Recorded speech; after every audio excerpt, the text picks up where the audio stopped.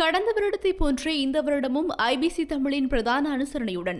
தமிழ் உதைப்பந்தாட்ட பேரவையினால் வடக்கு கிழக்கு premier league கால்பந்தாட்ட தொடர் நடத்தப்படவுள்ளது. இந்த போட்டித் தொடர் ஜூலை மாத இறுதியில் ஆரம்பமாக உள்ளதுடன் வடக்கு கிழக்கில் உள்ள எட்டு மாவட்டங்களைச் சேர்ந்த பன்னிரண்டு அணிகள் களமிறங்க உள்ளன. அந்த வகையில் இந்த போட்டித் தொடரில் பங்கு பெற்றும் வீரர்களுக்கான ஏலம் நேற்றைய தினம் யாழ்ப்பாணத்தில் அமைந்துள்ள ரெல்கோ விருந்தினர் விடுதியில் நடைபெற்றது. இந்த போட்டியில் கடந்த வருடம் விளையாடிய நூற்று நாற்பத்தி மூன்று வீரர்கள் ஏலத்திற்கு விண்ணப்பித்திருந்த நிலையில் நூற்று பதிமூன்று பேர் ஏலம் எடுக்கப்பட்டனர். மொத்தமாக ஐம்பத்தெட்டு லட்சத்து அறுபத்தி இரண்டாயிரம் ரூபாவிற்கு வீரர்கள் ஏலம் போயுள்ளனர். இதற்கமைய டி. கஜகோபன் அதிகூடிய தொகையான மூன்று லட்சத்து முப்பதாயிரம் ரூபாவிற்கு நொதன் எலைட் எஃப்சி அணியினால் ஏலத்தில் பெற்றுக் கொள்ளப்பட்டுள்ளார்.